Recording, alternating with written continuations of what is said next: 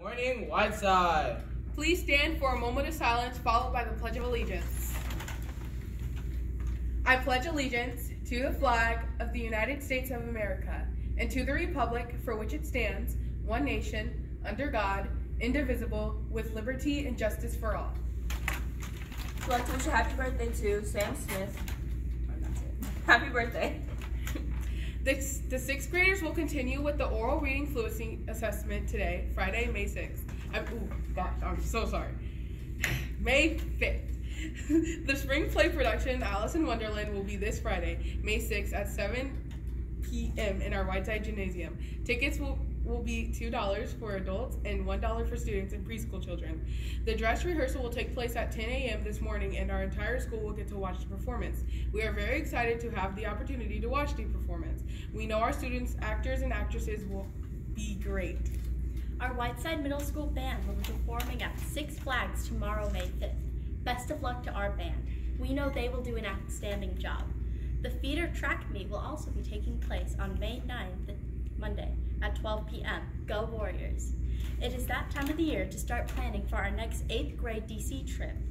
There will be a 7th grade parent meeting for all those who are interested in attending the trip. The meeting will take place on May 9th at 6.30 p.m. in the library. The Alice in Wonderland spring production will be performed for our elementary school students on May 10th.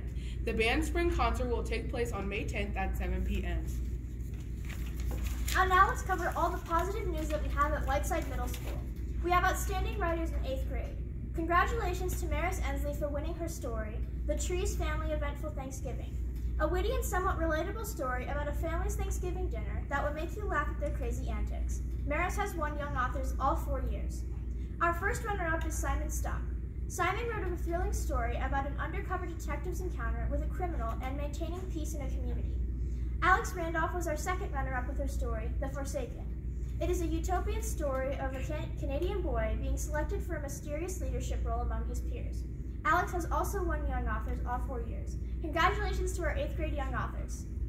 We have nine athletes qual that qualify for the state track meet that will be held on May 14th at, Car at Carterville High School.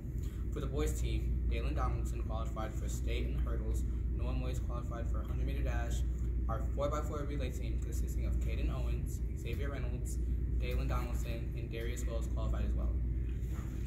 For the girls team, Jade Singleton qualified for state with a first place finish in the 8th grade 100 meter.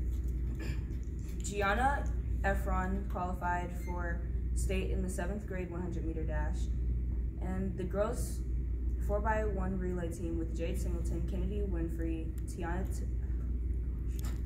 Tanaja Tiller, and Gianna Efron qualified for the state track meet. Go Warriors! Happy Friday! And to end this all off with a joke, what is the best advice you can give from a librarian? Be yourself. You're right. No. Yeah. No. no.